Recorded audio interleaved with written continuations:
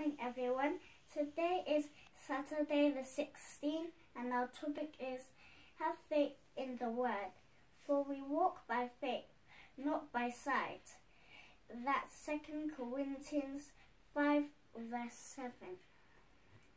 The Word of God is full of power to produce all it talks about, but for it to work, you have got to have faith in it. Have faith in the word means you trust it. When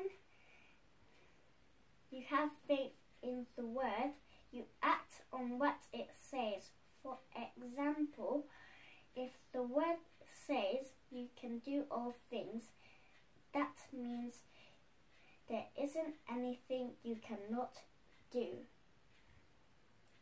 So next time you have a class assignment that seems difficult, say to yourself, I can do all things through Christ that strengthens me. Then speak in other tongues. Wikalaga baba sokotogo, shikalaga baba sokotogo, wikalaga baba, wikalaga sokotogo, shikalago baba. Until you receive guidance. That is how to have faith in the Word. Say this The Word of God is quick and powerful and produces all it talks about.